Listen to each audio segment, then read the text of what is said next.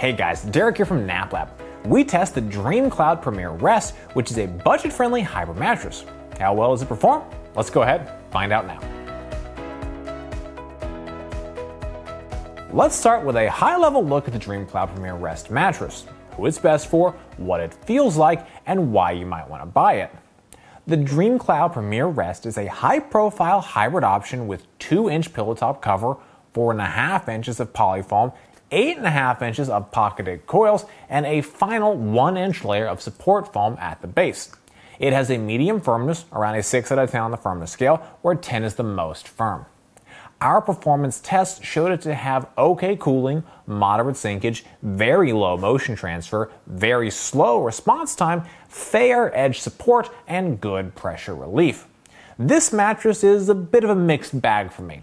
It struggles in several important categories, including cooling, response time, and edge support. While hybrid design usually means these categories perform better, we don't see that here. The DreamCloud Premier Rest performed well in our testing series, although it struggled in some categories. It scored perfect 10s in motion transfer and company, with scores in the 9s for sex, pressure relief, and off gassing. In cooling and edge support, the Premier Rest received scores in the mid to high 8s. The lowest scoring category for the mattress was response time, with a score of a 6.8. The mattress has the second slowest response time of any mattress we've tested to date. The firmness of the Premier Rest is around a medium firm, 6 out of 10 on the firmness scale, where 10 is the most firm. This firmness level makes it a solid choice for a wider range of sleepers. The softer pillow top is nice for side sleepers, especially. The Dream Cloud Premier Rest is a good choice for sleepers looking for a budget friendly hybrid mattress with incredibly low motion transfer. Additionally, the Premier Rest has a moderate level of bounce despite the dense motion absorbing foams. There are a few things to keep in mind when considering the Dream Cloud Premier Rest mattress. Cooling performance for the mattress leaves something to be desired. It was outperformed by all three Nectar mattresses in our test, including the least expensive option. In addition, the Premier Rest has a very slow response time, being the second slowest we've tested to date. Lastly, if you often use the edge of your mattress, you may find the support of the Premier Rest to be lacking, whether lying or sitting. Your body weight and sleeping position impact the types of mattress that are best able to support you. Our analysis is designed to help match the correct mattress to the right body types and sleeping positions. The Premier Rest Hybrid has a 16 inch thick profile, 8.5 inches of pocketed coils, and thick comfort materials. My only concern is that some sleepers may find the pressure relieving dynamic so strange that it creates potential for support problems. Ultimately, this is a comfort issue that could impact support, but not a direct support issue. Otherwise, the medium firmness level of the Premier Rest would be an excellent fit regardless of weight or sleeping position. Next, we're going to move on to our individual performance tests. At NapLab, we test each mattress by analyzing it according to nine different factors that impact the feel, comfort, and performance. First up, we have our cooling test. To measure cooling, we lie on the mattress for 15 minutes, allowing it to absorb body heat. Then, we get off the mattress and take measurements of the surface level temperature. The cooling experience on the DreamCloud Premier Rest mattress was okay, but not great in our objective data, we measured a maximum surface level temperature of 91.7 degrees Fahrenheit. This is 1.5 degrees higher than the average maximum temperature across all mattresses we've tested to date, which is 90.2 degrees. The heat dissipation curve was also good, but not great.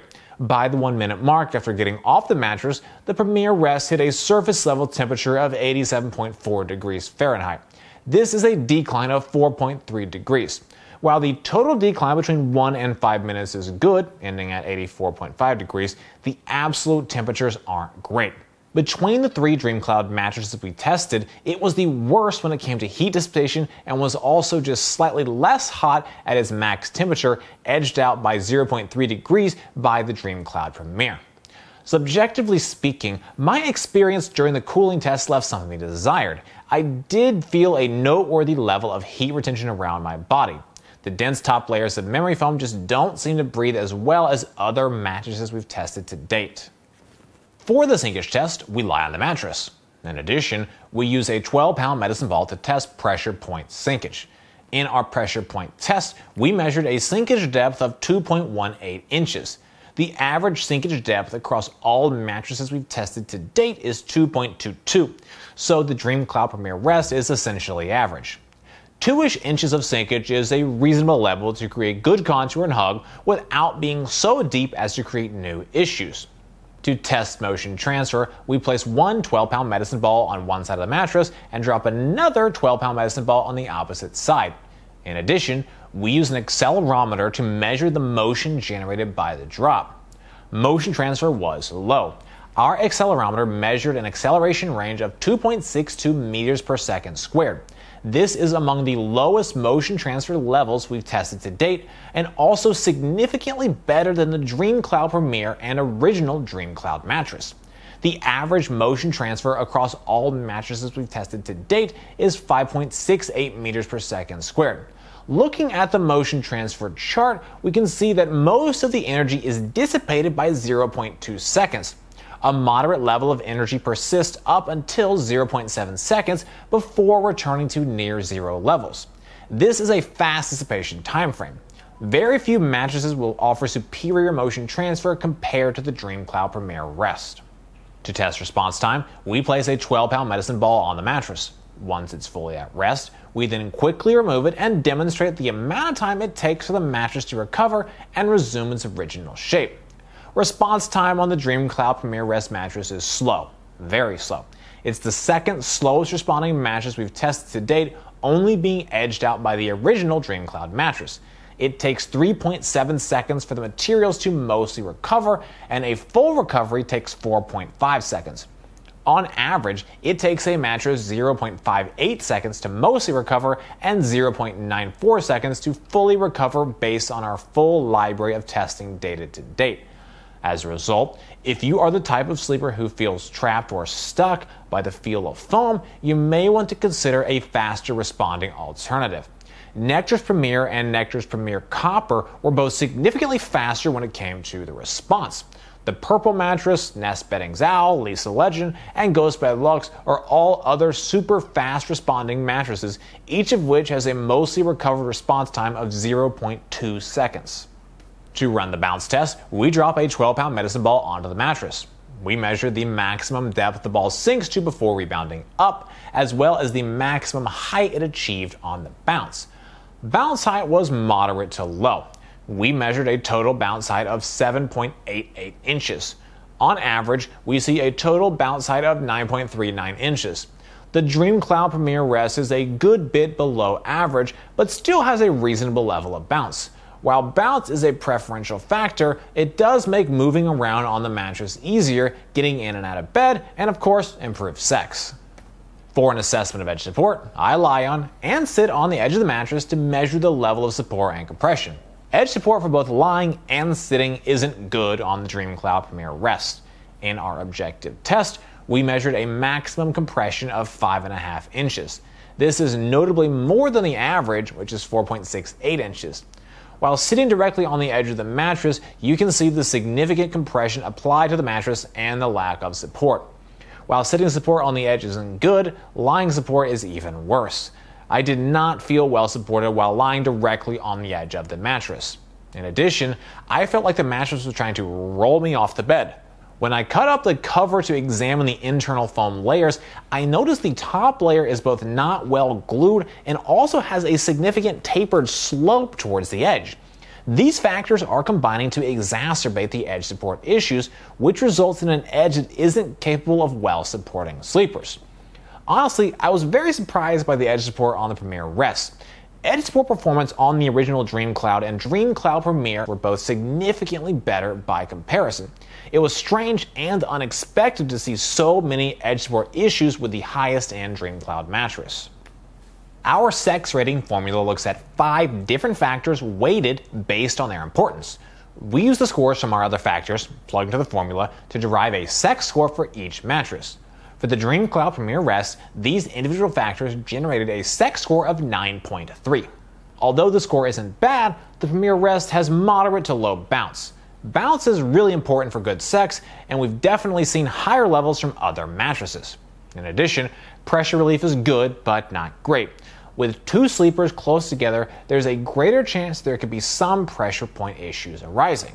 Edge support was also notably lacking. While sitting, there was 5.5 inches of give, which is not nothing.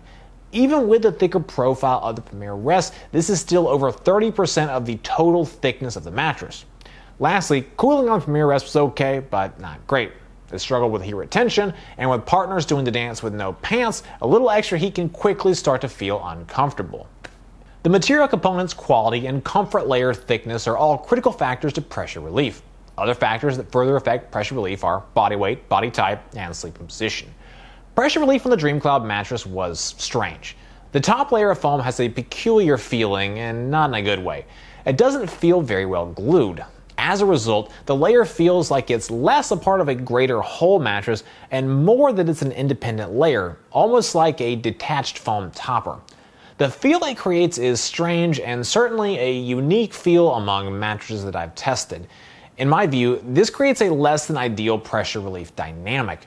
Instead of a series of layers working together to gradually ease your body into the mattress, you end up with what feels more like a solid core mattress topper. I wouldn't go as far as to say that the pressure relief is bad, but it's not as good as others we've tested by a healthy margin. To evaluate off gassing, we monitor the mattress following the initial unboxing, taking a subjective measurement of any strong lingering smells off gassing was surprisingly very low. DreamCloud uses deodorizer packs, and they really do seem to make a big difference.